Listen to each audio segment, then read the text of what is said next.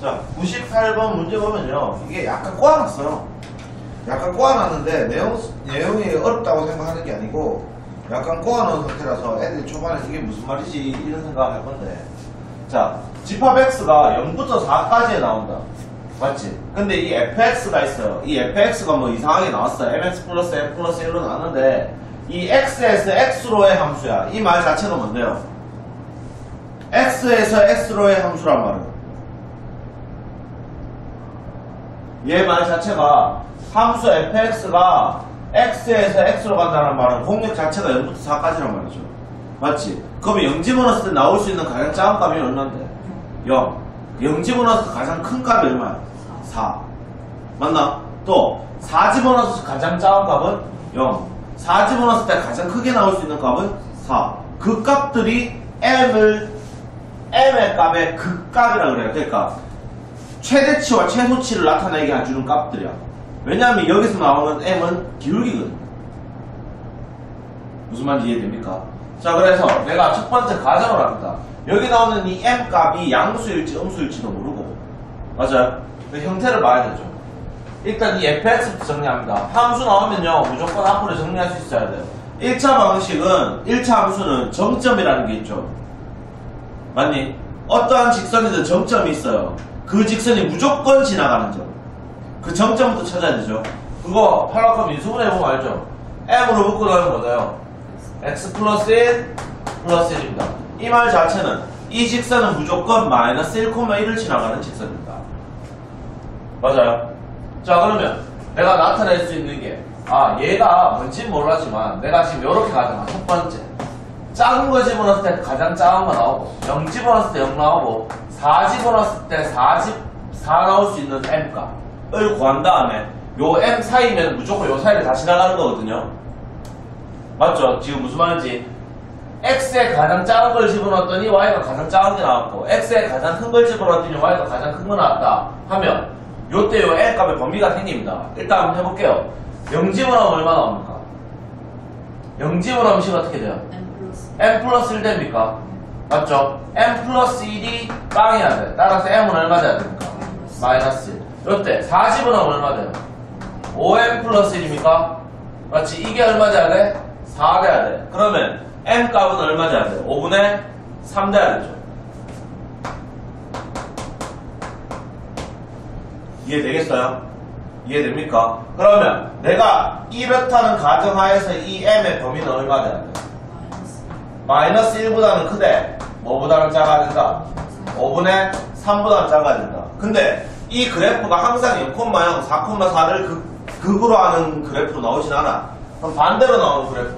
자, 반대로. 5번에 0 집어넣었을 때 4가 나올 수도 있고, 4 집어넣었을 때 0이 나올 수도 있어요. 거꾸로 가는 그래프죠. 흔히 얘기하는 감소하는 그래프지만. 맞아요. 자, 이렇게 나왔다 치면, 똑같이 집어넣으면 얼마 돼? 0 집어넣으면 m 플러스 1이가. 맞지? 이게 4래요. 그럼 m 얼마 돼야 돼? 플러스 3입니까? 그 다음에 4 집어넣었을 때 그러면 4 집어넣으면 5m 플러스 1이에요. 이 놈이 0이면 되죠. 그러면 m은 얼마 돼야 돼요? 마이너스 마이너스 5분의 1입니다. 따라서 이때 이 m 값은 마이너스 5분의 1보다 크거나 같고 3보다 작거나 같으면 돼요. 맞지? 근데 내가 얘기하는 건 이것도 되고 이것도 되는 걸 찾아야 될 거 아니야. 맞아요. 이렇게도 낼 수 있어야 되고 이렇게도 낼 수 있어야 돼요. 왜냐하면 얘가 x에서 x로 가기에는 함수가 된다라고 했기 때문에 이거일 수도 있고 이거일 수도 있으니까. 그럼 확실한 거는 여기 안에도 되고 여기 안에도 되는 공통의 범위 찾으면 끝나버리죠. 그러면 여기에도 성립하고 여기에도 성립하는 거니까. 맞아? 그러면 요 n과 범위 구하면 어떻게 돼요? 얘는 마이너스 1부터 5분의 3까지 얘는 마이너스 5분의 1부터 3까지 이거의 공통 범위는요? 마이너스 5분의 1보다는 크거나 같은데 뭐보다는 5분의 3보다는 작거나 같다가 되는 거죠. 이해됩니까? 그래서 아, 뒤에서 앞에 거 뺀 값을 b-a라는 써 있고 뒤에서 앞에 거 빼면 5분의 4고요 맞니? 그 5분의 4에다가 얼마 곱하면 5 곱하면 답은 4입니다 됐어요? 자 그리고 뭐 또 그래프로 좀 본다면 저는 이런 걸 별로 안 좋아하는데 자, 그래프로 본다면 이 좌표가 지금 마이너스 1,1이에요. 다른 풀이 방법으로 정리하고 있습니다. 마이너스 1,1을 지나는 어떠한 직선이 있어. 요게 지금 마이너스 1,1입니다. 그리고 이 범위는 어떻게 되냐면 정역은 x가 0부터 4까지죠. 맞죠? 공역도 0부터 4까지. 그러면 내가 지금 이거를 지날 수 있는 요 부분 안에 있는 어떠한 영역도 다 써먹을 수 있잖아. 마치 뭐 1,4가 될 수도 있고. 지금 이 1대1 대응이란 말은 없어요. 그냥 함수기 때문에. 공력이 남는 부분이 있어도 상관은 없죠. 맞지? 그래서 뭐 3,4가 될 수도 있고, 3,1이 될 수도 있고, 3,2.5가 될 수도 있고. 그러면 이 부분에 뭐가 되는 이 부분을 지나가게 되는 직선을 만들어주면 되지. 맞죠?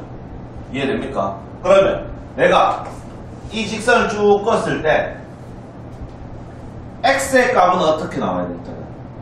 그러니까 내가 지금 얘기하는 거는요. 얘가 이 범위 안에서 나올 수 있는 게요. 뭐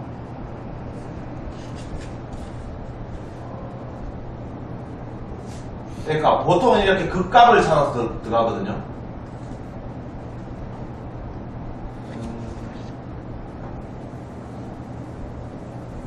이러한 직선이 될 수도 있고요. 맞죠? 이 직선상.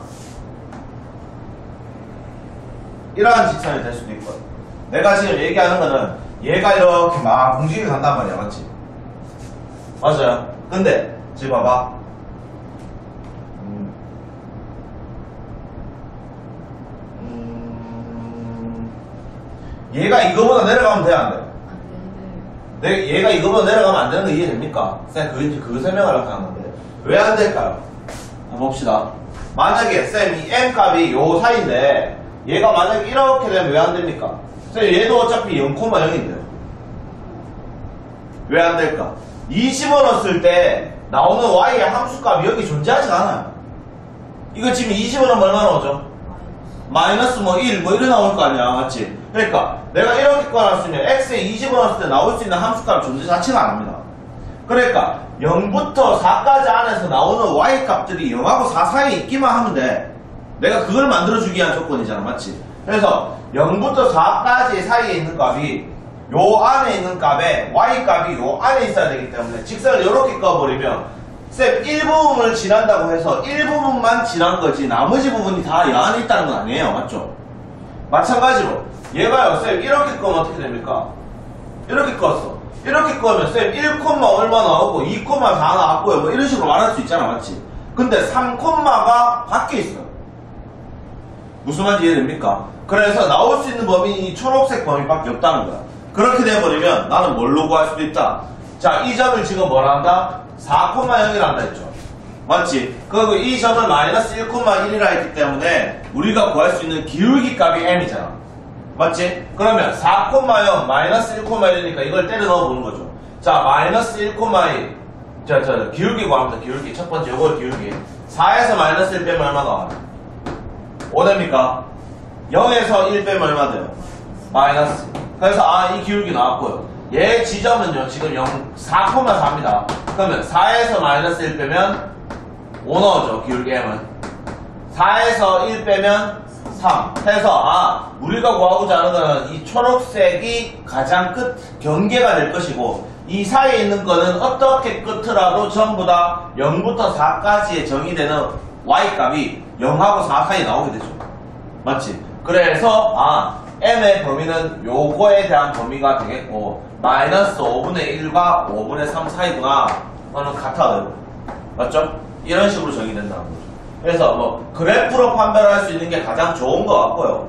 또 모르겠으면 식으로도 정리하는 거죠. 이해됩니까? 자, 이런 식으로 정리한다. 그래서 일단 다음은 똑같이 4로 나옵니다. 되겠죠?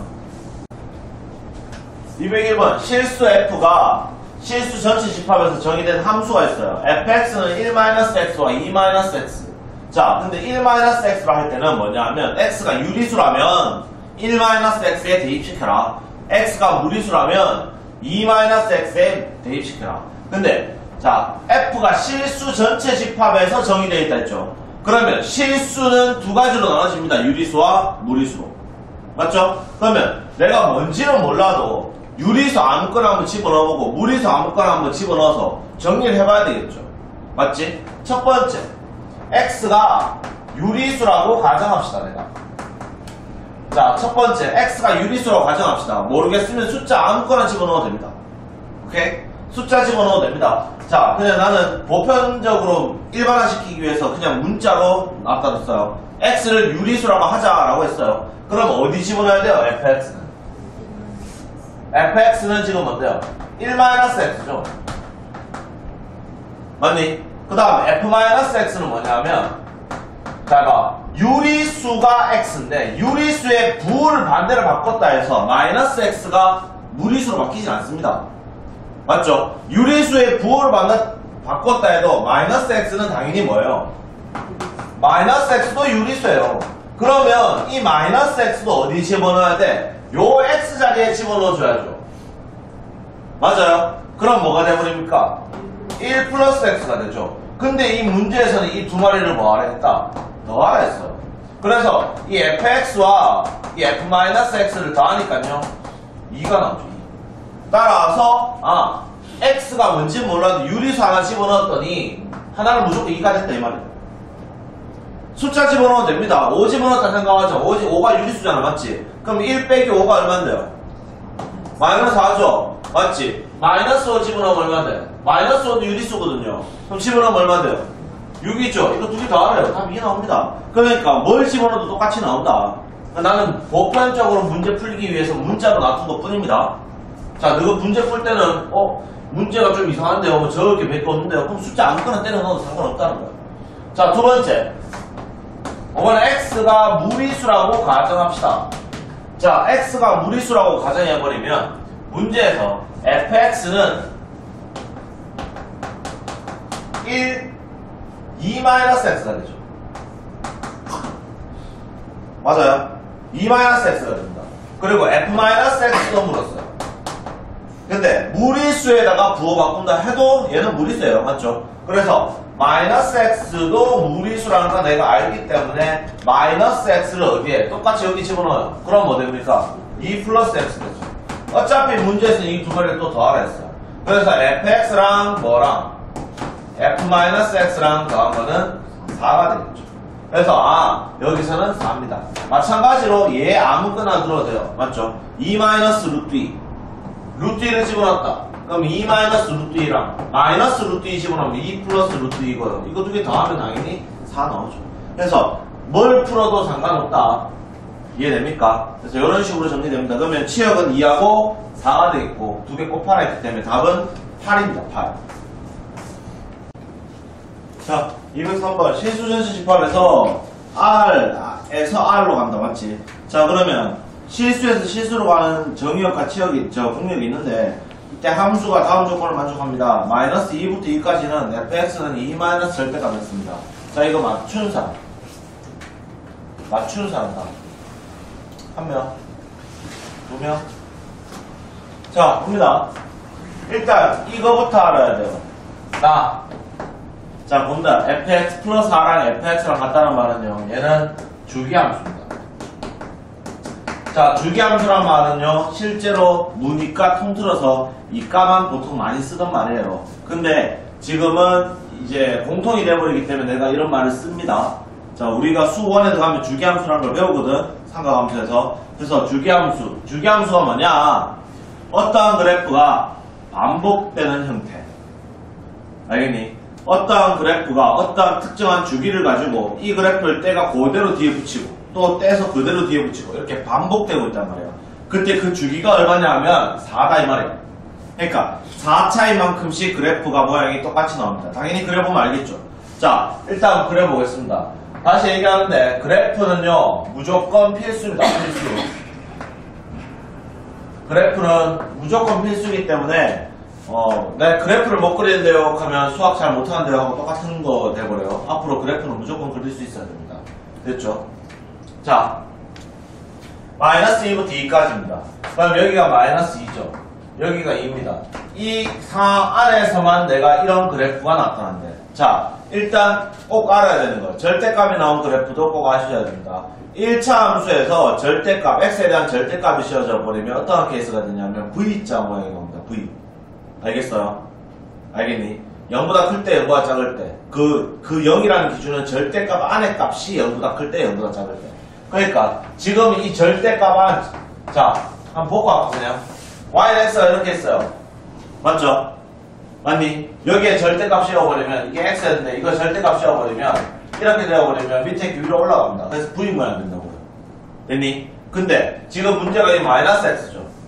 맞지? 그럼 얘는 y 좌표들이 다 반대로 바뀌어요. 그러면 이렇게 나옵니다 이렇게 지금. v가 거꾸로 뒤집힌 형태가 되죠. 앞에가 얘가 마이너스 붙었으니까 근데 그 뒤에 뭐 붙었어? 2 붙었잖아 맞지? 그럼 여기에다가 다시 2만큼 들어 올라가라 했기 때문에 여기 있는 숫자들을 처음부터 2만큼 걸리면 됩니다 그래서 형태가 어떻게 나오냐면 자, 이런 식으로 나와요 V이긴 한데 마이너스가 붙어서 마이 저 뒤집어진 V 맞지? 눈웃음 이거 이거 이 모양에다가 플러스 2 붙어서 위로 올라갔다 이 말이야 이해됐나? 자 근데 봐봐 그러면 문제에서 언급하는 만약에 내가 3이라는 값을 갖고 싶어 F3 알겠니? F3을 가지려고 하면 둘 중에 하나가 3이 되면 되지 맞아요?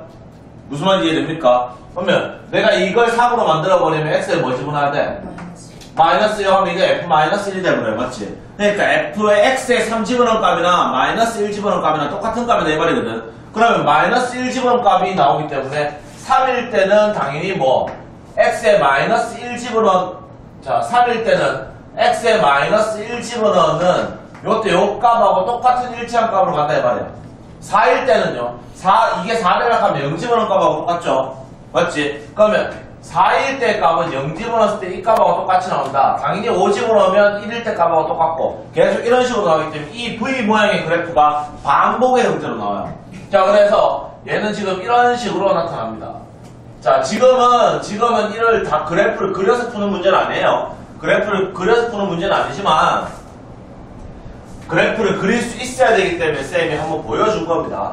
자 이럴 때 문제에서 뭐 물었냐면 F19와 F-5를 물었어요. 어차피 우리는 이게 4주기로 간다는 건 내가 깨우쳤으면 19에서 4 뺀 15의 값이나 F19의 값이나 똑같단 말이야. 그럼 F15랑 똑같은 건또 F11이죠. 4를 빼면 또 F7이 되죠. 또 4를 빼면 F3이 되죠. 3도 아직 정이 안 돼 있잖아, 문제에서는. 맞지? 그러면 또 4를 빼면 마이너스 1이죠. 맞지? 따라와서 F19는 F-1이라고 일치하단 말입니다, 함수값이. 그래서 여기에 마이너스 1값, 그럼 마이너스 1 집어넣으면 얼마 나와? 1 나오죠? 집어넣으면 아닙니다, 맞죠? 그래서 아, 얘는 1입니다. 그 다음 F-1은요, 자, 마이너스 2부터 2까지 정의되어 있는 함수에서 마이너스 5값을 물었단 말이야. 근데 얘가 주기함수이기 때문에 4를 더하면 되죠, 계속. 그럼 또 뭐가 돼버려요? 마이너스 1이 되죠. 그래서 F-1하고 똑같기 때문에 얘도 얼마 돼요? 1 됩니다. 그래서 이 문제의 답은 2가 되는 거죠.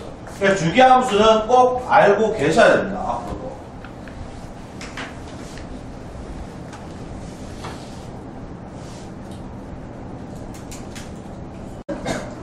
(205번) 보면요 fx는 2차 함수예요 자 그리고 gx는 봐봐 이것도 봐봐. gx 아 이건 아니구나. gx-1이랑 fx 플러스 1이랑 같다 했잖아 맞지? 맞아요. 이런 거는 조금 여러 개 풀면 되죠. 문제에서 원하는 건 뭔데? g의 이 값이 나오도록. 그러면 얘가 지금 뭐가 되도록? 2가 되도록. 이 말은 x에 뭐 집어넣어라? 3 집어넣어라. x에 3 집어넣으면 얘가 뭐가 된다? 4 따라와서 f4 값 묻는 거죠. 맞니? 4 집어넣으면 얼마인데요? f4는? 문제 나이는 쉬운 편이죠. 4, 4, 16 3 곱하면 48에다 플러스 4한 다음에 빼기 2 했죠? 어, 얼마 나와요? 50 그래서 답은 50이 답입니다.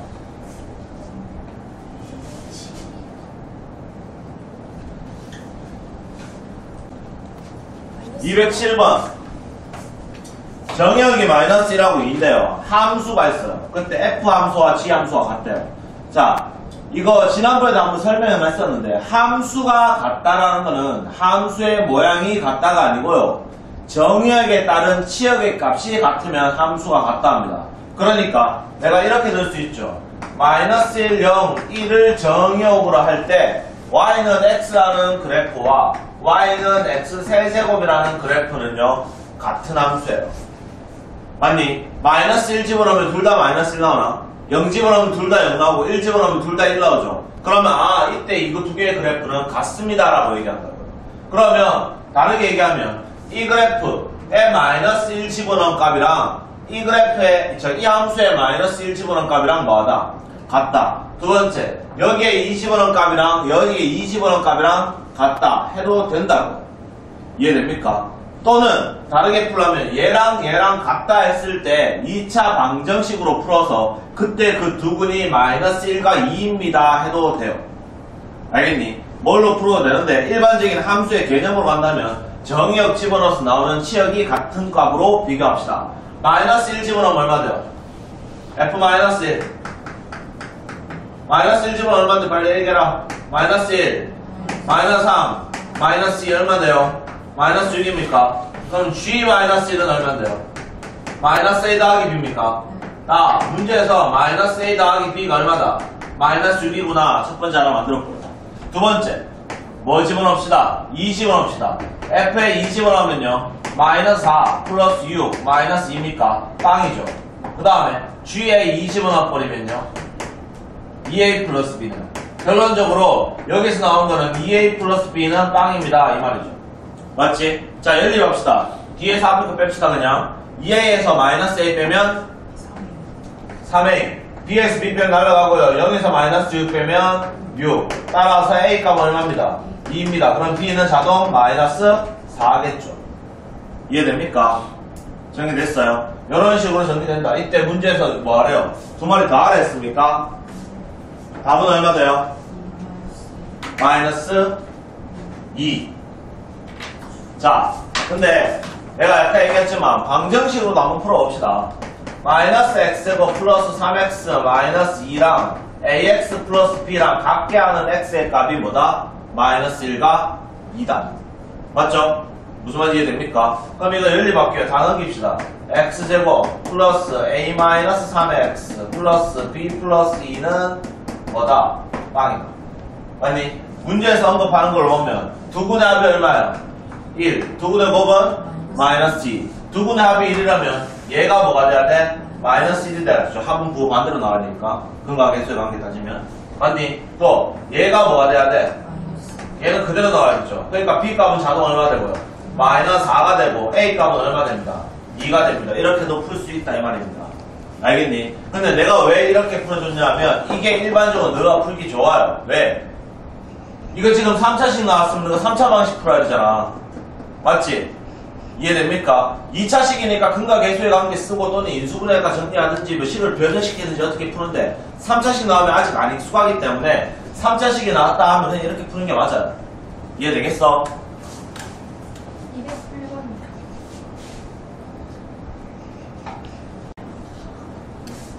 자, 208번 봅니다. x는 0, 1, 2고요. y는 1, 2, 3, 4야. 자, 이때 정의역과 공역이 나왔는데 자, fx와 gx가 똑같은 함수가 된대요. 그냥 뭐 하면 돼요? 때려 넣으란 말이죠. 영집은 합시다. 영집은 하면 얼마 돼요? 3. f형은 3입니까? 또 g형은 얼마인데요? a 플러스 b인가요? 그러면 a 플러스 b는 얼마다? 3 이다 하나 나왔죠? 두 번째 f1은 얼마인데요? 1 집어넣으면요 1입니까? 5 빼기 4니까요 g1은요? B입니까? 끝났네요 그러면 b가 1이네 b 1이면 a 2네요 맞아? 문제에서 2a 빼기 br을 했기 때문에 4 빼기 1로 답은 3 자, 210번 봅니다. 공집합이 아닌 집합 x에서 정의된 두 함수가 있어요. f와 g가 같다. 함수와 같다라는 거는 어떠한 정의역을 집어넣었을 때, 맞지? 어떠한 정의역을 집어넣었을 때 나오는 치역의 값이 일치해야 돼. 맞지? 그 값을 찾아주기 위해서 내가 뭔지 모르니까 x에 어떠한 수를 집어넣읍시다. 그 숫자가 그냥 내가 x라고 해도 되죠. 맞지? 그러면 아까 풀었던 방정식처럼 정리하는 거네요. x제곱 플러스 2랑 뭐랑 같다? 2x제곱 플러스 x랑 같다. 이걸 만족하는 x의 값 찾아내면 끝입니다. 맞죠? 맞니? 자, 근데 일단 기본적으로 딱 생각해봐. 얘가 내가 잘 몰라. 3차 방식을 못 풀겠어. 근데 이미 3차라는 건 알잖아. 그럼 보통의 실근은 몇 개 나와요? 3개. 그럼 원소의 개수가 3개인 부분집합은 8. 공집합이 아니라 했으니까 7. 답은 3번이겠죠. 근데 그건 정확한 건 아닙니다. 맞죠? 왜? 허근이 있을 수도 있거든. 맞니? 그래서 실제로는 식을 정리해 봐야 돼요. x제곱 마이너스 2x 뭐 플러스 x 아니지 마이너스 x 플러스 2입니까? 3차 방정식 풀 때 가장 좋은 방법은요? 어? 3차 방정식 풀 때 가장 좋은 방법 어 그거 조립제법 가장 좋은 방법은 인수분해죠 맞죠? 근데 그 인수분해가 안 떠오르니까 조립제법을 이용해서 인수분해 하는 거잖아 맞지? 근데 이건 인수분해 바로 됩니다 앞에 거 두 개 끊으면 어떻게 돼요? x제곱 묶어내면 x 마이너스 2입니까? 요 뒤에 거 마이너스를 묶어내면 x 마이너스 2입니까? 맞나? 그러면 x 마이너스 2로 묶어내면 이 중에 뭐 나와요? x제곱 마이너스 1은 0 그러면 다시 정리할게요. x 마이너스 2면 x 플러스 1 x 마이너스 1은 0 따라서 x는 2 또는 마이너스 1 또는 1이죠. 맞지? 식이 이제 해가 3개 나왔잖아. 따라서 원소의 개수가 3개인 부분집합의 개수는 2의 3선 맞니? 그 부분집합에는 0도 있죠 무슨 말인지 이해됩니까? 그러니까 집합이 이래야 된다고. 이 공집, 이 집합 x가 마이너스 1, 1 이래 되고, 뭐 2, 마이너스 1 이래 되고, 또 뭐 돼요? 1, 2 이래 되고, 1 있어도 되고, 마이너스 2 있어도 되고, 마이너스 1 있어도 되고, 원래는 마이너스 1과 1과 2 있어야 되고, 원래는 공집합 이렇게 해서 8개 나오잖아. 맞지? 근데 이 문제에서는 공집합은 아니라 했으니까 얘는 버리고, 그래서 한 개 빼면 얼마 나온다? 7 나온다, 이 말이죠. 그래서 내용으로 봤을 때는 간단한 문제 중에 하나입니다. 자, 봅니다. 215 보면 실수 전체 집합에서 정의된 함수가 나왔는데 1대1 대응을 했어. 자, 일단 꼭 알고 계세요. 우리 앞으로 뒤에서 배울 역함수 개념하고 똑같기 때문에 1대1 대응이라는 말은 그래프가요. 보면 알겠지만 우리 앞에서 1대1 대응 봤죠? 이건 1대1 대응이 안 돼. 이거 1대1 대응입니까? 아닙니까? 얘는 1대1 함수라 했어요. 맞죠? 맞니? 자, 1대1 대응이라 했습니다. 그러면 1대1 대응은 얘는 아니고 밑에 부분, 위에 부분 끝없이 다 나와야 돼. 맞죠? 근데 직선 이런 게 1대1 대응이란 말이야. 그러면 뭐가 정확하게 얘기하면 뭐가 1대1 대응이냐 하면 이 함수가 증가하기 시작했으면 끝까지 자 집중해라. 딴 애들 늘 보잖아. 증가하기 시작했으면 끝까지 뭐가 돼야 돼요? 증가해야죠. 맞지? 증가하다가 뭐가 돼버리면 감소하게 돼버리면 어떻게 돼요? 네 그러면은 이렇게 돼버리면 이렇게 몇 개에서 만나? 여기 두 개에서 만나잖아. 그럼 1대1 대응이 안 되지. 맞지? 그래서 아 얘는 항상 증가할 거면 계속 증가해야 되고 감소할 거면 계속 감소해야 돼. 그럼 내가 이 성질만 보고 정리하면 a 플러스 3하고 이거의 기울기 봐봐 이게 지금 뭐냐면 x의 영지으로 무조건 둘다 0,1이거든요. 맞죠? 그때 얘의 기울기가 뭔지 모르겠지만 x가 0보다 작을 때 나오는 이 직선과 x가 0보다 클 때 나오는 이 직선이 기울기가 부호가 같아야 돼요. 자, 얘가 마이너스였으면 얘가 마이너스면 되죠. 왜? 이렇게 마이너스 오다가 이렇게 마이너스 돼도 어차피 얘들은 1대1 대응 되거든. 맞죠? 또는 얘가 플러스고 얘가 플러스면 올라가다가 뭐 이렇게 올라가도 되죠. 끊기지 않고 쭉 가면 돼. 단 올라갔다 내려갔다 이런 것만 없으면 된다고. 그럼 내가 이제 결론만 먼저 얘기하면 기울기의 부호가 뭐 해야 된다? 같아야 된다가 결론이야. 그럼 뭐만 되면 돼요? a 플러스 3하고 2 마이너스 a 하고 곱했는 게 무조건 뭐가 나와야 돼? 양수 돼야 되죠. 맞니? 부호가 같으면 돼. 둘 다 마이너스여도 되고 둘 다 플러스여도 된다고요. 그럼 양변에 마이너스를 곱합시다. 왜 그러냐면 2차식의 부호가 최고차식의 부호가 마이너스니까 마이너스 1 곱하면 a 플러스 3에 a 마이너스 2잖아. 이게 여기가 작죠? 그럼 a는 뭐하고 뭐 사이입니까? 마이너스 3하고 2 사이. 이 사이에 있는 정수 물었죠. 뭐부터 뭡니까? 마이너스 2부터 1까지잖아. 뒤에서 앞에 거 빼고 더하기 1하면 답 얼마 나와요? 4개 나오죠, 4개. 자, 216번. 215번과 완전히 일치합니다. 뭐냐 하면 215번은 그래도 문제에서 보기 쉽게 분리시켜 준 거고. 맞지? 216번은 너가 분리해서 적어놔라 이 말이죠. 자, 얘 기준 되는 것만 먼저 봅시다. 언제 기준이에요? 절대값 아래가 0 되는 값. x가 언제인데요? 1. 그럼 얘가 x가 1보다 클 때랑 1보다 작을 때로 나눠집니다. 맞죠? 자, 일단 x가 1보다 작다는 가정하에서 내가 정리할게요. x가 1보다 작으면 이 식 어떻게 나와요? 부호 반대로 나오죠? 마이너스 x 플러스 1로 나옵니다. 맞죠? 그러면 마이너스 x 플러스 1 그리고 ax 플러스 1로 나오죠. 자, 이거 조금만 더 이쁘게 정리하면 x를 묶어내면 얼마 돼요? a 마이너스 1의 x 플러스 2 됩니까? 네. 맞죠? 두 번째, 5번은 x가 1보다 크거나 같을 때 라고 정리합시다. 그러면 얘는 그대로 나온다, 맞지? 그러면 x-1 플러스 ax 플러스 1. 그러면, 어, 맞는데 그냥 적어놓고 한번 할게요. x-1 플러스 ax 플러스 1. 그래서 얘 정리하면, 어, a 플러스 1의 x. 이렇게 나오죠. y좌표는 0이에요. 이해됩니까? 얘는 지금 1 집어넣으면 둘 다 똑같은 값이 나오게 돼 있어요. 1 기준에서는 똑같으니까, 맞지? 자, 그래서 나왔는데, 봐봐. 이 말은 1이란 기준선 안에서, 1이란 기준선 안에서 어떠한 직선 두 개가 나누어지는데, 왼쪽에 있는 직선은 a-1 플러스 1란 직선이고, 오른쪽에 있는 직선은 a 플러스 1의 x라는 직선이에요. 맞지? 근데 아까하고 똑같이 내가 나눴잖아. 딴거 볼 거 없어. 1 집어넣어서 똑같은 값 나오는지 확인만 해주고, 그 다음에 이놈의 부호가 뭐가 되는데, 같으면 돼. 알겠죠? 왜냐하면 이 직선도 1 집어넣었을 때 뭔지 몰라도 어떤 값 나왔고 이 직선도 1 집어넣어서 똑같은 값에서 시작만 하면 되거든. 그리고 기울기가 증가하면 계속 증가하면 돼요. 또는 감소했으면 계속 감소하면 됩니다. 그래서 딴거 필요 없고 뭐만 찾자? 기울기만 계산하자. 그러면 a-1하고 a 플러스 1 곱했는 부호가 뭐가 돼야 돼요? 양수가 돼야 되죠? 맞니? 기울기의 부호 같아야 되니까. 이거 양수가 됐다. 최고 차이 개수가 1일 때 양수니까 가장자리 값이고 A 값은 마이너스 1보다 작거나 또는 A는 플러스 1보다 크다. 이렇게 나오겠죠. 답은 1번 되겠네요. 1번. 자, 219번 봅니다. 219번 보면 x바 x가 k보다 크거나 같고 y는 1보다 크거나 같다. 그리고 fx는 절대값 x-2 플러스 1. 자, 근데 얘가 1대1 함수가 된대요. 자, 일단 보세요. 지금 문제에서 언급하는 자체가요. 이게 그래프부터 또 판단을 할 수 있어야 돼요. 맞죠? 이거 2차 함수꼴의 문제하고 비슷한데 시험 문제 이렇게는 많이 나왔죠. 절대값 x-2 플러스 1부터 그립시다. 얘는요. x-2의 그래프 이렇게 나오는 그래프에서 뒤집어 올렸기 때문에 V 모양으로 나옵니다. 기준은 뭐고? 2고요. 맞죠? 2를 기준으로 V 모양으로 나와요. 그리고 플러스 1만큼 올라갔으니까 어떻게 돼요? 2를 기준으로 플러스 1만큼 올라갔으니까 얘가 2고 뭐 이렇게 돼 있겠죠. 얘가 2,1이고 맞니?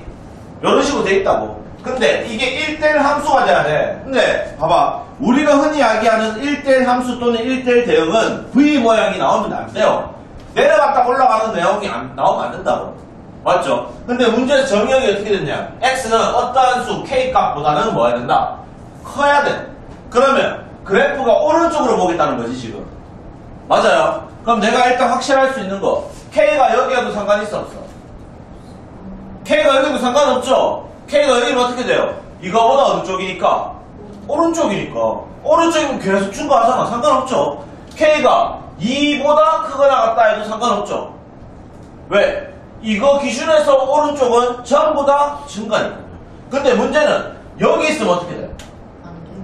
얘가 k가 마이너스 1이라고 가정합시다. 얘가 마이너스 1이면 마이너스 1 여기다 치자. 그러면 이 기준에서 보면 우리는 그래프가 이렇게 나오기 시작합니다. 맞죠? 그러면 내려갔다 올라가니까 1대1 함수가 될 수가 없어요. 결론적으로 k값이 될수 있는 거는 가- 여기도 되고 여기도 되고 여기도 되고 여기도 되지만 2까지는 가능하겠지만 2보다 왼쪽은 안 돼요. 그래서 첫 번째 내가 만들 수 있는 첫 번째 범위는 k값은요 2가 돼도 되고 2보다 오른쪽에 있어도 됩니다. 됩니까? 맞죠? 자, 그 다음, 문제에서 1대1 대응이면 이 문제가 좀 더 심각해지는데요. 1대1 함수이기 때문에 y 값 자체를 내가 비교해 줄 필요가 없어요. 자, 지금 문제에서 하필이면 y가 1보다 크거나 같다 했죠. 맞니? 근데, 봐봐. 그래서 답은 이게 끝이거든요. 이걸 끝인데, 만약에 y가 2라고 나왔다. 만약에 y가 2보다 크거나 같다라고 나왔다 하면, 2가 되는 지점이 한 이 정도 이런 식으로 있겠죠. 맞지? 그러면 K 값이 이거보다 왼쪽에 있으면 안 돼요. 무슨 말 이해됩니까? 그때는 K 값이 여기 있으면 안 되죠. 이게 K가 돼버리면 어떤 상황이 생기냐 하면 K 값에 그러니까 이게 지금 얼마니까 3집어넣으면 되나? 3 집어넣으면 2 나오죠. 만약에 K가 2.5라고 가정합시다, 내가. 2.5를 여기 집어넣는 순간 얘는 2보다 작은 수가 나와버려요. 문제에서 말하는 건 X에 어떤 수를 집어넣든 이 범위 안에 맞는 숫자를 딱 집어넣었을 때 나오는 Y 값도 이 범위 안에 있어야 되는데 지금은 얘가 2,1이기 때문에 이 문제는 이거 하나로 끝납니다. 근데 내가 지금 하나 더 봐주는 거는 이걸로 끝나는 문제가 아니야, 원래는. 얘가 Y 범위가 2 또는 2보다 더 큰 숫자가 나왔다 쳐도 요 얘가 2가 되는 지점 3보다는 왼쪽에 나오면 안 된다는 거죠. 2.5를 여기 집어넣는 순간 1.5가 나오기 시작하거든요. 맞죠? 그때는 아 두 번째죠. 두 번째 비교할 거는 y에 집어넣는 값이 k를 집어넣는 값이 뭐 절대가 k-2죠. x에 k를 집어넣는 값이 플러스 1. 이놈도 뭐보다 크거나 같아야 돼요. 1보다 크거나 같아야 돼요. 예, 그래프 그리면 쉽죠. 이걸로 정리하면 k-2의 절대값이 0보다 크거나 같다. 따라서 k는 마이너스 2보다 작거나 같거나 k는 2보다 크거나 같다. 선생님이 풀이는 건 바로 했습니다. 이렇게 나온다고요. 그리고 이거 두 개의 공통 범위를 찾아야 돼요. 원래대로라면. 알겠니? 지금 문제에서 내가 금방 이걸 2로 만들어놨다 쳤지. 2로 만들었으면 얘가 전부 다 2가 됐을 거 아니야. 맞죠? 이해됩니까? 그럼 이거 1 됐겠죠, 넘어가면. 맞니? 이 범위 따지면 어떻게 돼요? 이거 사이값 정리하면. K-2는 마이너스 1보다 작거나 같고, k-2는 1보다 크거나 같다잖아. 그럼 정리하면 어떻게 돼? k는 1보다 작거나 같고, k는 3보다 크거나 같다. 그럼 이거 둘 중에 하나를 만족하면서 얘도 만족해야 되거든. 그럼 얘랑 공통으로 만족할 수 있는 건 얘밖에 없잖아. 그래서 얘, 얘 했으면 여기는 답이 3부터라고. 이 문제가 2차 함수에서도 많이 나와요. 알겠니? 2차 함수도 어차피 똑같은 케이스지. 이거나 이거나 다른 게 없죠. 맞지? 그래서 2차 함수 문제에서 나와도 뭐부터? 꼭지점 왼쪽으로 만약 이게 작다라고 내버리면 어떻게 돼? x가 k와 작습니다라고 하면 이 왼쪽만 봐야 되죠. 맞죠? 크거나 같습니다 하면 오른쪽만 봐야 되죠. 맞지? 그래서 나눠놓고 두 번째 뭐 했는 거? 그때 숫자를 대입했는 값, k 값을 대입했는 값 자체가 뭐가 돼야 돼? 다시 공역에 있는 값보다는 크거나 같아야 돼. 그렇게 나오면 됩니다. 그래서 이 문제가 219번 문제가요. 내용이 쉬운 듯 보이는데 많이 틀리는 문제죠. 되겠습니까? 자, 220번 봅시다. 얘는 x에서 x로 가는 2차 함수예요. 맞죠? 근데 지금 2차 함수 나오면 2차 함수 그래프 그래서 판단하는 게 가장 좋아요. 아까요? 온지 10분도 안 돼가 졸고 있으면 어쩌잔 말이고. x제곱 플러스 4x는요. X 플러스 2의 제곱 마이너스 2하고 아, 저 마이너스 4하고 똑같죠? 요 정도 그냥은 아무나 냈고요. 그러면 얘 그래프는 이런 식으로 나와요. 그럼 이 점의 좌표는요 지금 마이너스 2, 마이너스 4입니다. 맞니? 근데 문제에서 뭐라 했냐면 집합 자체가 x가 k보다 크거나 같다 였고 공역 자체도 x는 y는 k보다 크거나 같다야. 그러면 정리를 따지면 어떻게 해야 돼? K보다 크거나 같다로 나와야 되기 때문에 일단 k 값 자체는 마이너스 2보다 어느 쪽에 있어야 돼요? 오른쪽에 있어야죠. 왼쪽에 있으면 이렇게 잘려버리면 내려갔다 올라가잖아. 맞지? 결론 첫 번째 아 쌤 k 값은요 일단 마이너스 2보다는 크거나 같아야 됩니다. 맞죠? 금방 했던 문제입니다. 두 번째 아까 얘기했죠. 그때 그 k 값을 집어넣는 게 공력도 만족해야 돼. 근데 이거는 공력이 똑같은 모양이거든요. 그러면 여기에 집어넣으면 k 집어넣으면 어떻게 돼요? k제곱 플러스 4k라는 놈이 맞니? k제곱 플러스 4k라는 놈이 무조건 뭐보다 k보다 크거나 같아야 되죠. 맞아요. k제곱 플러스 4k라는 놈이 무조건 k보다 크거나 같아야 되지. 이해됩니까? 그러면 정리해봅시다. 실제로는 이게 같은 지점에서 는 해서 풀어도 됩니다. 부동하면 너무 힘드니까. 그러면 k제곱 플러스 3k가 얼마 되면 돼요? 빵입니까? 그러면 k 인수분하면 k 플러스 3입니까? 그러면 k가 얼마 돼요? 0 또는 마이너스 3이죠. 문제에서 근데 뭐라 했어? 1대1 되도록 하는 실수 k값 구하랬는데 아까 내가 첫 번째 k값 범위는 뭐였어? 마이너스 2보다 크거나 같다 했잖아. 맞지? 자, 마이너스 2보다 크거나 같다 했고 자, 지금은 쌤이 왜 0을 적었냐면 아까 위에 219번 문제는요 1대1 대응이 아니었어요. 보면 알겠지만 219호 문제는 1대1 대응이 아니었고 1대1 함수였어. 그래서 공격 중에 남는 부분이 생겨도 상관없었어. 근데 이 부분은요. 지금 이거에 대한 공격이 어떻게 되냐면 y바 y는 k보다 크게 나왔잖아. 그러면 k 집어넣으면 100% k 나와야 돼. 얘는 남는 부분이 있으면 안 돼요. 1대1 대응은. 그래서 내가 는으로 바꾼 겁니다. 문제를 잘못 봐서. 이해됩니까? 그래서 요번 는으로 바꾼 거고 그러면 k 값은 0하고 마이너스 3. 됐어요? 근데 아까 첫 번째 조건에서 k는 마이너스 2보다 커야 된다 했지. 그럼 답은 뭐밖에 안 돼요? 빵밖에 안 되죠. 그래서 답은 4번입니다. 4번. 자, 221번. 공집합이 아닌 집합 x의 정역으로 하는 함수가 있어요. 자, 근데 이 함수가 항등함수가 된다 했습니다. 그러니까 항등함수라는 말은 정역이 뭔지 모르겠지만 그 안에 있는 집합의 원소들을 집어넣었을 때 이거 여기에 집어넣었더니 그 값 자체가 다시 뭘로 나온다? 똑같은 값으로 나온단 말이야. 1 집어넣으면 1로 나온다. 뭐 2 집어넣으면 2로 나온다 이 말이죠. 근데 모든 숫자를 집어넣는다고 다 똑같이 나오진 않아요. 맞죠? 그때 그 안에 들어갈 수 있는 거 뭐 있냐라고 묻는 겁니다. 실제로. 그러면 내가 만들 수 있는 거는 이거죠. 정역 안에 뭔지 몰라도 그 정역 안에 원소 중에 이미 하나를 내가 t라고 둡시다. 그럼 t를 집어넣으면 계산하면 얼마 돼? ft는 2t 세제곱 마이너스 2t 제곱 마이너스 3t 고 나올 거고 이 값이 다시 t가 돼야 돼. 이렇게 돼야 항등함수가 된다고. 그러면 이거 이 하면 얼마 돼요? 2t 세제곱 마이너스 2t 제곱 마이너스 4t는 빵이고요. 자 이거 정리합시다. 이거 만족하는 t 값만 찾으면 되죠. 2t로 묶어내면 t 제곱 마이너스 t 마이너스 2는 빵 이래 나오죠. 따라서 2t에 t 마이너스 2 t 플러스 2는 빵입니다. 여기까 나옵니까? 그럼 여기서 나올 수 있는 t 값은 뭐다? 0이어도 되고 2여도 되고 마이너스 1이어도 된다 이 말이야 0 집어넣어도 0 나올 거고 2 집어넣어도 2 나올 거고 마이너스 1 집어넣어도 마이너스 1 나올 겁니다 이 말이란 말이야 맞지? 근데 문제에서 묻는 건 원소의 개수를 묻는 게 아니야 이때 집합이 될 수 있는 건 물었잖아 맞아요? 그러면 0만 있어도 되고 2만 있어도 되고 마이너스 1만 있어도 되고 정역 자체가 0하고 1을 갖고 있어도 되고 0하고 마이너스 1을 가지고 있어도 되고. 그러니까 이런 걸 보고 우리는 부분집합이라고 부르죠. 마치 0과 2와 마이너스 1을 가지고 있는 부분집합. 맞죠? 어, 최소한 하나는 가지고 있어야 돼. 공집합은 아니어야 된다 했거든요. 따라서 부분집합의 개수는 2의 3승인데요. 공집합은 하나 빼줘야 되죠. 모든 부분집합은 공집합이 포함되어 있기 때문에. 따라서 계산하면 얼마 나온다? 7개 이렇게 나온다는 거죠. 됐습니까? 자 22번. 실수 전체 집합에서 정의된 두 함수 f와 g가 있습니다. 이때 f2 곱하기 g2의 값을 구하라 라고 돼 있어 그렇지? 근데 f는 항등함수고 g는 상수함수예요. 그럼 끝나버렸네.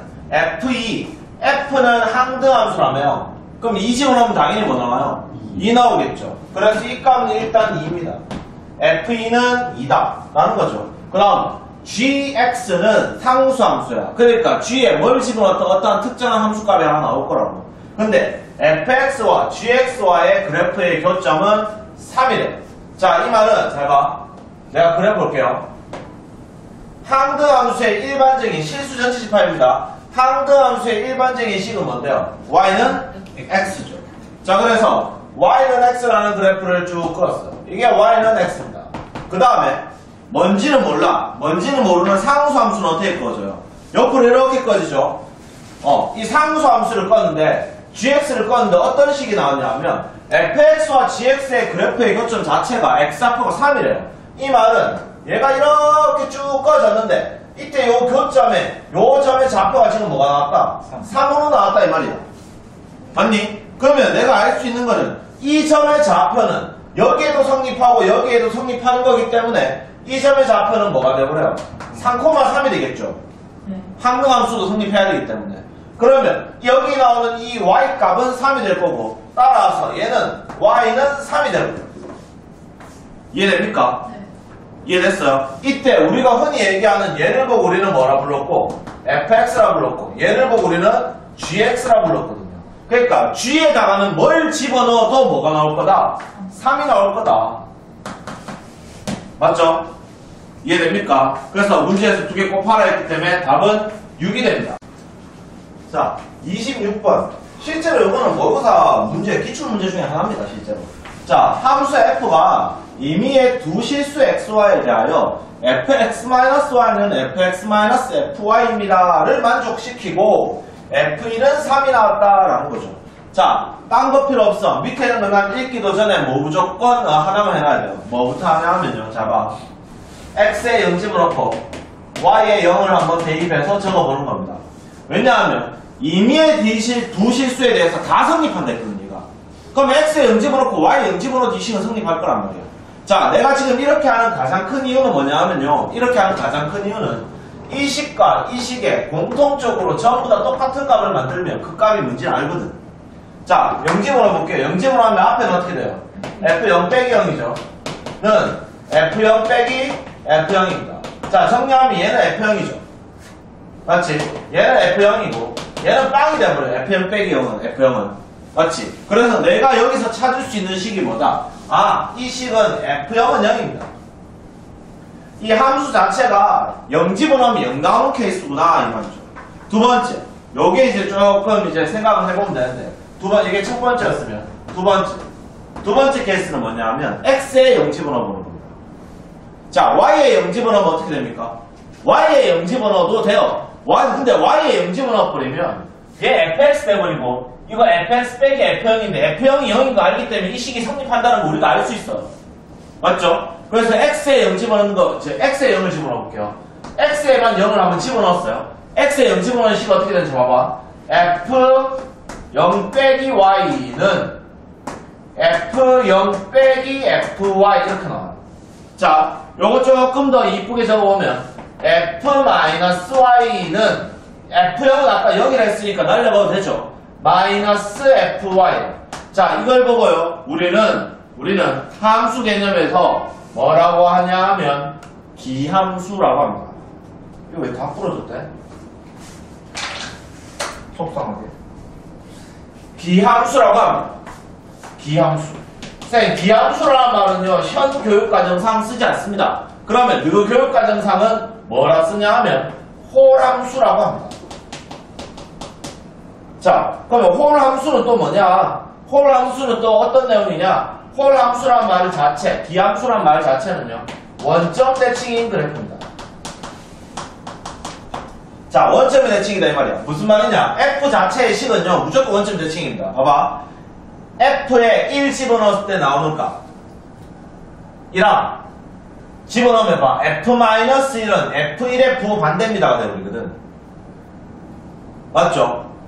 X의 부호가 반대로 바뀌면 Y의 부호도 반대로 바뀌었잖아. 이 원점 대칭이 나오는 거죠. 맞지? 이 말로 내가 알 수 있는 거, 아, 요거 가지고, 지금 이 두 가지 가지고 내가 식을 하나 더 만들어 보는 거죠. 그 식이 뭐냐면, 쌤, 세 번째, 이걸로 통해서 내가 만들어 볼 수 있는 게, 이게 요령이에요. 문제 좀 풀다 보면 이게 익숙해지는데, 요령입니다. 자, 이건 어떻게 됐냐? 쌤, y 대신에 내가 마이너스 y 집어넣어 볼게요. 자, y 대신에 마이너스 y를 대입해 봅니다. 쌤이.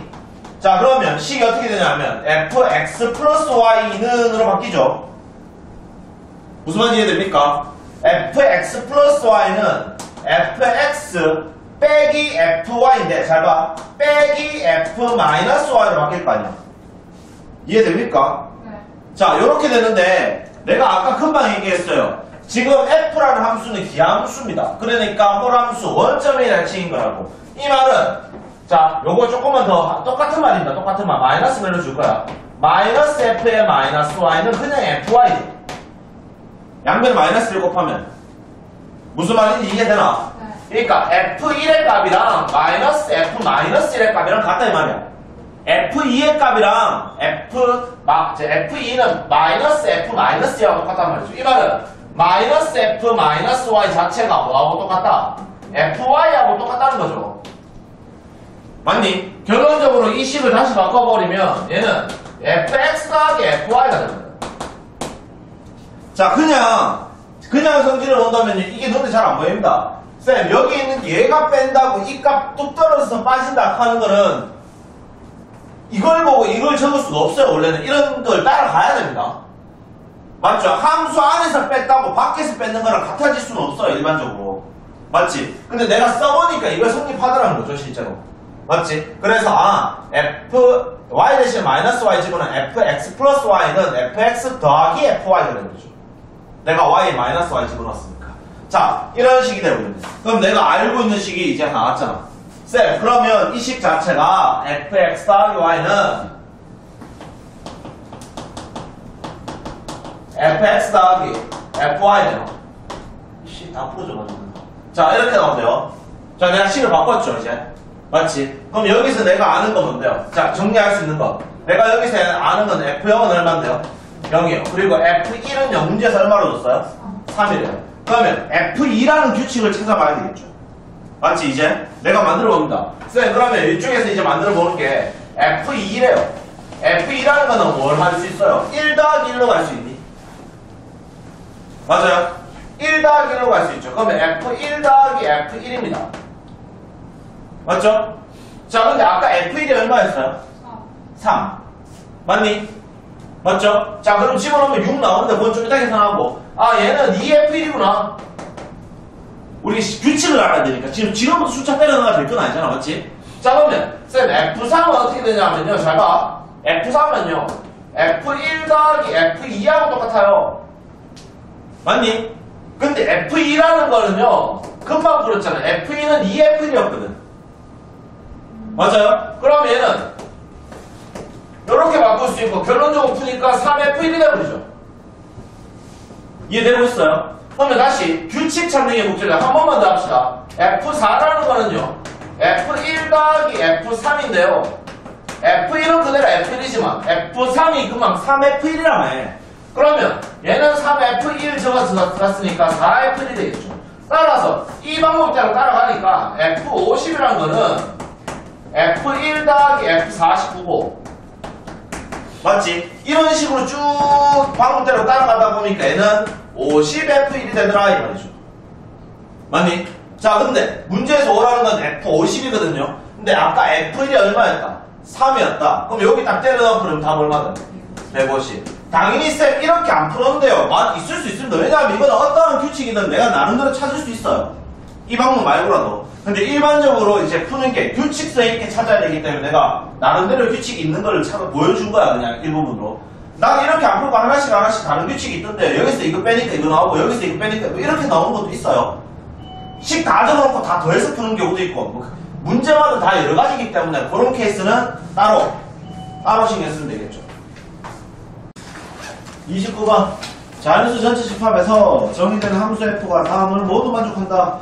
자, p가 소수이면 fp는 p다. 자, 문제에서 소수는 그대로 소수로 나온다 이 말이죠. 맞지? 그리고 지금 mn이란 말은 이 숫자는 지금 소수가 아닌 숫자를 언급하는 거지. 네. 맞지? 두 개 곱했는 거니 합성수잖아. 합성수는 소수의 덧셈으로 바꿀 수 있다는 거야. 그러면 지금 문제에서 말하는 f100이라는 거는 자, f100이라는 거는 100을 선수분해 시키면 어떻게 돼요? 10, 10. 아, 10, 10. 자, 2 곱하기 2 곱하기 5 곱하기 5입니다. 그럼 100은 다 떨어뜨릴 수 있는 거야, 곱하기로. 결론은 뭐냐 하면 F2 더하기 F50이 되죠. 네. 맞지? 그럼 F50도 쪼갤 수 있지. F2 더하기 F25로. 네. 맞아요? 이런 식으로 하면 결론은 F2 더하기 F2 더하기 F5 더하기 F5가 되는 거예요. 맞습니까? 그럼 2하고 5는 소수이기 때문에 결론은 얘들은 전부 다 뭐로 나온다? 2, 2, 5, 5. 맞니? 문제에서 이거 다 더하란 값이기 때문에 답은 14가 답입니다. 자, 30번. 실수 xy에 대하여 다음 조건을 만족한다 라고 되어 있는데요. 일단 쌤이 뭐 설명하는 거 조건에서 아까도 잠깐 언급했긴 했는데 아까 뭐 했었냐면요. fx랑 마이너스 fx랑 같다 하면 그걸 우리는 기함수 또는 홀함수라고 불렀어요. 그걸 보고 우리는 원점의 대칭이다 라고 했거든요. 자, 근데 얘는 뭐냐면 얘는 f-x는 fx는 x에 1 집어넣나 마이너스 1 집어넣나 똑같은 값이다 이 말이죠. x에 2 집어넣은 값이나 x에 마이너스 2 집어넣은 값이나 똑같은 값이다 이 말이죠. 2 집어넣으면 맞죠? 그래서 얘는 y축에 대해서 대칭인 그래프가 나타나요. 그래프를 그린다면. 그래서 얘는 우함수라고 부르고요. 기함수가 아닌 게 우함수입니다. 지금 맞죠? 맞니? 자, 우함수라고 부르고 우함수를 우리 교육과정상으로는 짝함수라고 부릅니다. 앞으로 많이 쓰는 말입니다. 알겠어요? 많이 쓰는 말이고 아 얘는 뭐냐 y축 대칭 요거는 지금 이 문제 때문에 내가 써주는 게 아니고요 일반적인 문제로 써주는 게 아니고 뭐로 쓰는 거야? 내가 지금 그냥 설명을 하는 겁니다. 이런 내용은 이런 거다. 자, 그 다음 문제에서 언급하는 대로 뭐부터 해야 돼요? 식, 가식 정리하면 x에 뭐 집어넣고 0 집어넣고 y 0 한번 집어넣어보자. 0 집어넣어보면요.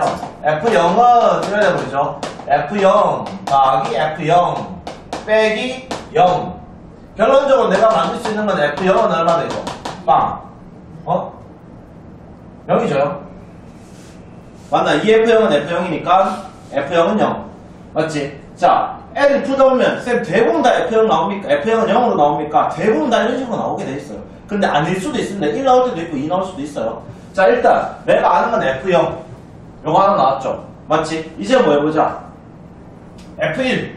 F1 구하려면요. 한 개 1 집어넣고 하나 0 집어넣으면 되잖아. 맞지? F0을 아니까. 그러면 이번에 X에 1 집어넣어보고 Y에 0 집어넣읍시다. 그러면 F1 더하기 0이니까 F1이죠. 맞지? 아니네. 1하면 안 되구나. 안 되죠? 뭘 집어넣어야 될까? 자, 요거 써봅시다. 우함수 특징 때문에 뭘로 가냐? 자, 내가 바꿔볼게요. X에 뭐 집어넣어보고, 1 집어넣어보고, Y에 마이너스 1 한번 집어넣읍시다. 같은 값으로 나올 거니까, 맞지? 정리해보면, 자, F0 됩니까? N은 F1 됩니까? 그 다음에 플러스 F 마이너스 1 되고요. 플러스 4 됩니까, 이거? 네. 근데 요 성질에 따라가면 X 안에 있는 부호를 바꿔도 똑같은 값이 나온다는 말이기 때문에 이 값도 결론적으로 우리는 뭐로 볼 수 있어요? F1로 볼 수 있어요. 맞지? 그럼 얘가 지금 얼마인데? 0. 그럼 이거 넘어가면 마이너스 4는 2F1이 됩니다. 맞죠? 네. 아, 이걸로 알 수 있는 게 F1은 얼마구나? 마이너스 2구나. 이해됩니까? 이런 식으로 만들 수 있겠네. 됐니? 그 다음에 F3은요? F2를 구하면 F3이 끝나지. 네. 맞지? F2 구하려고 하면 어떻게 해야 돼? 1 더하기 1 들어가면 되죠. 네. X에 1 집어넣고 Y에 1 집어넣으면 F2는 F1 더하기 F1 빼기 4입니까? 네. 네. 맞아요. 그러면 1 집어넣으면 마이너스이니까 F2는요 마이너스 2 마이너스 2 마이너스 하니까 마이너스 8 되네요. 네. 맞아요. 그럼 다시 쌤 F3 넣으려고 하면 X에 2 집어넣고 Y에 1 집어넣어도 되나? 맞죠? 그러면 집어넣으면 두 개 다 하면 얼마 돼요? F3은 F2 더하기 F1 2, 1 집어넣었으니까 마이너스 8lem이 나왔죠? 네. 그 다음에 F3은 F2가 아까 마이너스 8이었고요. F1은 마이너스 2였고요. 마이너스 8이네요. 그럼 이거 마이너스 18인 됩니까? 네. 이해돼요? 자 이렇게 만들어 놨어요 그러면 문제 하나 들어가면 F3이 얼마야 지금? 마이너스 18입니까? 네. F1은요? 마이너스 2인가요? 이 두 마리 더하래요 답은 마이너스 20입니다 그러니까 일단 무조건 뭐부터 만들어야 돼? F0 0에서 1 뭐 곱, 더하기니까 1, 0 이런 걸 만들어도 곱하기면 뭐 역수로 곱하는 것도 있고 자기가 이 유형이 조금 나오기 때문에 생각을 해보면서 풀어야 돼요 맞죠? 자, 31번 봅니다. 자, X하고 Y하고 Z가 있어요. 맞니? 자, 이걸 만족하는, 자, 함수 FG가 나오는데, 문제에서, 한번 봅시다. X라는 집합은요, 1, 2, 3입니다. 모르면 한번 이렇게 그려보면 제일 편하죠. 맞니? Y도 1, 2, 3이죠. Z는요, 1이에요. 자, 이렇게 되는데, X에서 Y로 가는 함수를 F라고 부르고, Y에서 Z로 가는 걸 G라고 돼요. 일단 문제에서 이렇게 됐어요. 가까이 썼습니다. 그 다음에 X의 임의의 두 원소에 대하여 X1과 X2가 다르면 FX1과 F2가 다르다. 이 말이 지금 무슨 말이에요? 1대1 함수입니다. 이 말이죠. 맞지? 근데 지금 여기는 정의역, 저 뭐야, 정의역과 공량의 개수가 같기 때문에 실제 1대1 대응이에요. 무슨 말인지 됩니까? 얘는 지금 뭐다? 1대1 대응입니다. 1대1 대응. 되겠습니까? 네. 그 다음에 G.F의 치역은 Z이다. G.F의 치역은 Z이다. 이게 뭔 말이야? F 먼저 한 다음에 그 값 G에 집어넣으면 Z 나오는 거잖아. 지금 이게 이거라고요. 지금 합성함수. 맞죠? G.F라는 말은 우리 뭘- 원래 뭐부터 해요? 합성함수는? 거부터 하잖아. 맞지? F 한 다음에 G 하면 Z에 나오는 거 나오는데 그러면 F하고 G 나오면 Z 나오잖아 지금. 맞지? 이렇게 만들어 놨습니다. 이렇게 했을 때 나올 수 있는 거를 따졌네. 일단 1대1 대응으로 나올 수 있는 것부터 우리 먼저 정리해야 되죠. 문제에서 이걸 만족하는 함수의 개수야, 맞지? 1대1 대응으로 만들 수 있는 거. 여기서 이거 1대1 대응이래요. 나올 수 있는 거 얼마인데요? 3팩토리얼입니까? 이해돼요? 요 1대1 대응 때문에, 아, 여기서 이까지 만들 수 있는 게 총 6가지가 나와요. 그 다음에, 여기서 일로 가는데, 봐봐. 시역이 Z야. 그러면, 얘들 3개 다 1로 가면 돼, 안 돼? 안 돼. 또는 얘들 세개 다 2로 가면 돼, 안 돼? 안 돼. 따라서 얘들로 만들 수 있는 모든 함수에서 맞지? 모든 함수의 경우에서 내가 말만 적은 말 적은 거야. 모든 함수의 경우에서 몰빵 가는 거. 상수 함수의 경우는 빼버리면 되죠. 모든 함수가 될 수 있는 경우에서 상수 함수가 될 수 있는 경우만 빼버리면 돼요. 자 그러면 얘는 어떻게 되나? 이 모든 함수가 뭔데? 얘가 쓸 수 있는 거 몇 개? 얘가 쓸 수 있는 거? 두 개. 얘가 쓸 수 있는 거? 선택은 두 개씩이야. 그러면 일단 모든 함수의 개수는 2의 3승입니다. 8가지가 나올 거라고. 맞지? 근데 그 중에서 시역이 Z로 나왔다는 말은 1 몰빵 가거나 2 몰빵 가는 건 나오면 안 된다는 말이거든. 그러면 1 몰빵 가는 케이스 한 개랑 2 몰빵 가는 케이스 한 개. 따라서 두 개는 빼줘야 되죠. 이 문제에서 원하는 거는. 맞지? 그래서 이걸로 나올 수 있는 FG, 나올 수 있는 순서상의 개수는 몇 개가 나옵니까? 36 나오죠. 이거 6이고, 이거 6이니까요. 이해됩니까? 이해돼요? 여기서 6개 나오고, 여기도 6개 나오잖아. 맞지? 이때 얘와 얘가 조합을 해서 만들 수 있는 건 총 36가지가 나오겠죠. 그래서 답은 36이. 자, 34번. 집합 1, 2, 3, 4에 대해서 fx는 x라고 했어요. 맞지? 맞나? fx는 x라고 했어요. 그럼 잘 봐봐. 지금 이 말 자체 봐보세요. 이 말 자체. f1이 얼마이구나? 1이어도 성립합니다. 맞지? 또는 F2가 2여도 성립하고요. F3이 3이어도 성립한다. 이거 세 개 중에 하나라도 만족하면 이건 무조건 빵 됩니다. 맞죠? 당연히 두 개가 빵 될 수도 있고 세 개 다 성립할 수도 있어요. 맞지? 그래서 될 수 있는 거 내가 이거를 만족하는 거를 집합 A라고 가정하고 얘를 만족하는 걸 집합 B라고 가정하고 얘를 만족하는 걸 집합 C라고 가정한다면 지금 문제에서 원하는 거는 A 이거나 또는 B 이거나 또는 C의 원소의 개수를 묻는 거하고 똑같아요. 맞죠? 그럼 얘 결국 계산하는 거 뭐였어요? 각각 하나씩 더하고요. 맞니? 빼기 A와 B가 두 개 있는 거 A, B와 C가 만족하는 거 A와 C가 만족하는 거 그 다음에 여기서 A, B, C가 공통으로 다 만족하는 거 한 번 더 빼주면 되죠 이 경우 우리 집합 파트에서 진짜 그거 해놨잖아 맞지? 경우의 수니까 자 그러면 자 문제에서 이거 묻는 거야 맞아요? 그럼 이 경우 계산합시다 A가 될 수 있는 거 자, A만 만족한다죠 이거는 지금 A, 그러니까 A를 만족한다죠 A를 만족하는 건 뭔데요? F1이 1이야. 이 말은 X라는 집합에 1, 2, 3, 4라는 게 있는데 이게 F라는 함수를 거쳐서 다시 X로 온다라고 문제에서 돼 있어요. 맞지? 이 말 자체 보세요. F1이 1일 때라는 겁니다. F1이 1이면 얘가 선택할 수 있는 경우 몇 가지? 네 가지죠. 이게 뭐 1대1이라는 말은 없습니다. 네 가지죠. 얘가 선택할 수 있는 경우도 네 가지. 얘가 선택할 수 있는 경우도 네 가지. 따라서 얘는 4의 3승입니다. 맞니? 자, 또는 B가, 그럼 B라는 말은 어때요?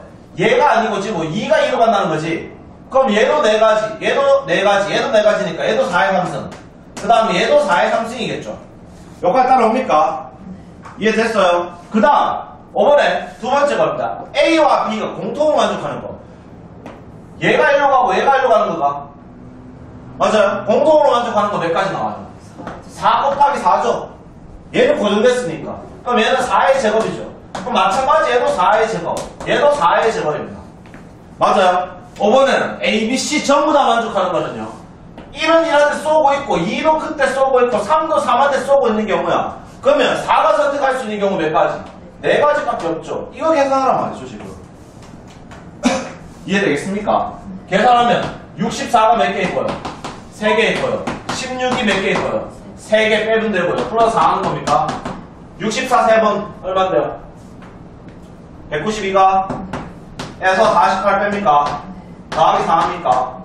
빼면 얼마 나오죠? 자, 요거 하면 얼마? 44가 마이너스? 그럼 여기서 44 빼면 얼마 돼? 148입니까? 맞아요? 그러면 나옵니까? 답 3번이겠죠 그러면? 37번 보면 오른쪽 그림과 같이 한 변의 길이가 20인 정사각형 ABCD의 변을 따라서 A에서 출발해서 B, C 거쳐서 D까지 가려고 한대. 실제로 움직인 거리를 X라고 한다면 그때 삼각형 APD, X의 위치에 따라서 APD라는 삼각형이 그려집니다. 그때 그 삼각형의 넓이를 fx라 하자. 그럼 fx가 10으로 나온다는 거죠, 지금.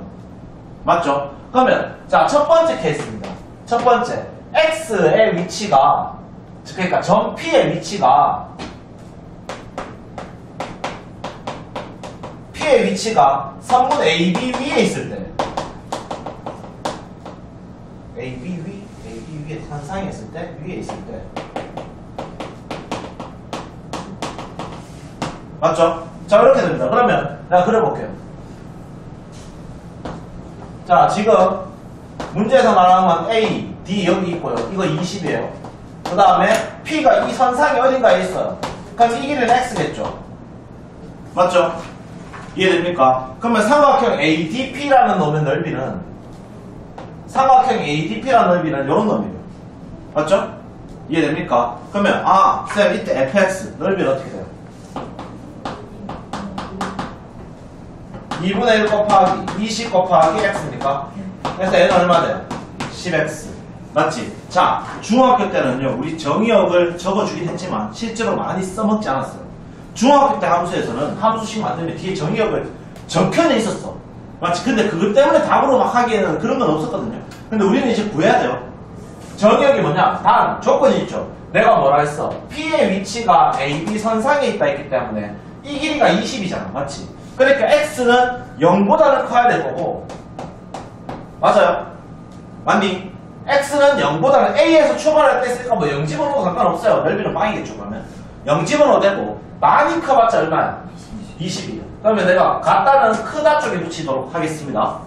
그럼 20 바로 전까지는 넓이가 이렇게 된다. 이렇게 가정하자. 됐어요? 그 다음, 두 번째.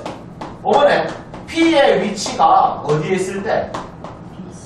어, 선분 BC 위에 있을 때. 그러면 또 사각형 하나 그릴게요. 이렇게 있으면 이제 A, B, C, D 있고 요 점을 내가 P라고 합시다. 그러면 이때 삼각형은요. 요렇게 되는 거죠.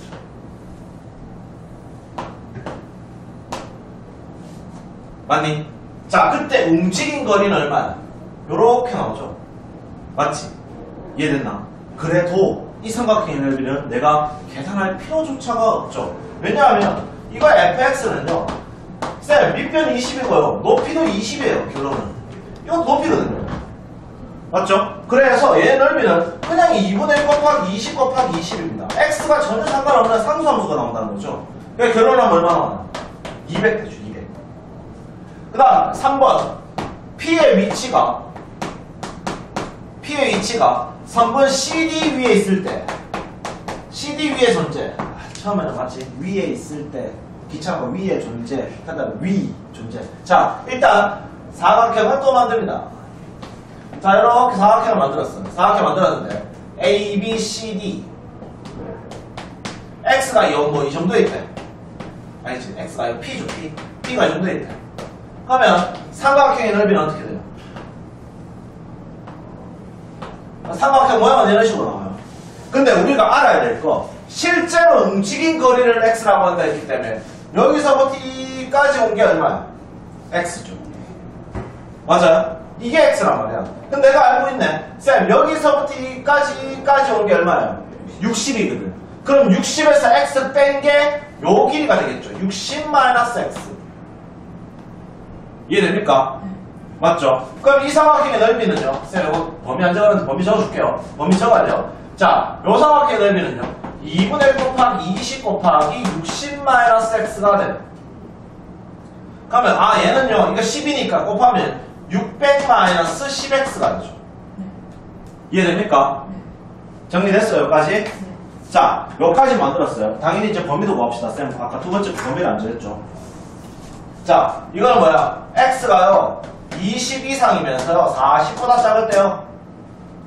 맞죠? 여기까지가 20, 여기서부터 여기까지 아니니까 P는. 그 다음 5번에는요, x가 뭔데요? x가요, 40보다 크거나 같으면서 뭐일 때? 60까지일 때. 이렇게 잡아주는 거예요.